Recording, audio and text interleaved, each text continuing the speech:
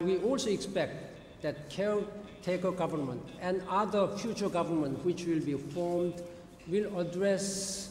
the needs of people and ensure uh, that there is efficient, effective channel of communication between the government and the people and addressing all their concerns. And there should be a good, uh, there should be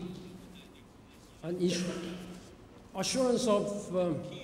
freedom of speech, freedom of association,